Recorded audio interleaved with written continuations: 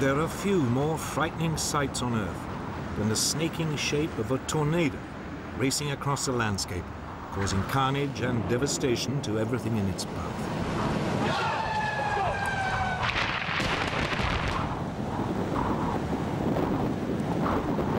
Oh my God, I hope they're okay. Oh my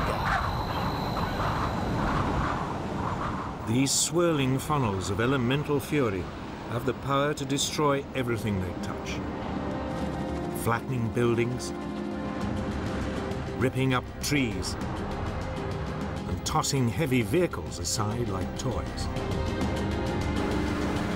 Capable of reaching up to 500 feet wide, with wind speeds which can hit 300 miles per hour or more, twisters often appear with scant warning, emerging from the base of storm clouds almost instantly.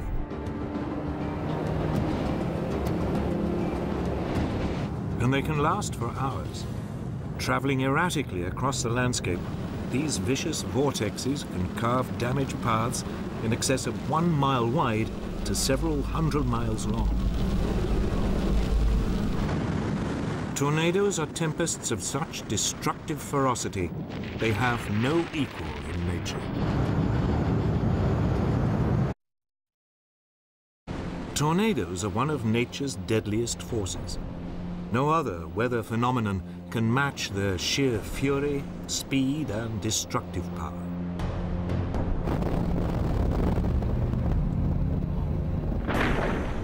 Oh, oh! Oh, not good, not good. Oh my God, not good. Oh, what is it doing? Oh, it's destroying a house. What's a house, isn't it? Yes. Across the world, thousands strike every year, killing hundreds of people and making tens of thousands homeless. The deadliest tornado the world has ever known was the Daulatpur Saturia tornado.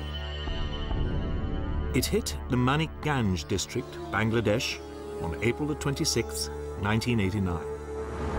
It was an extremely vicious and destructive twister, killing an estimated 1,300 people. A combination of severe drought for the previous six months and poor housing contributed to the intensity of the devastation.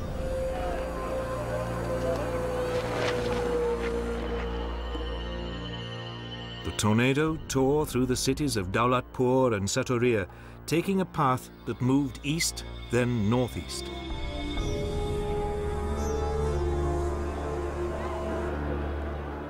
Carved out a route of concentrated destruction that was 50 miles long and one mile wide through the poorest areas and slums of Bangladesh.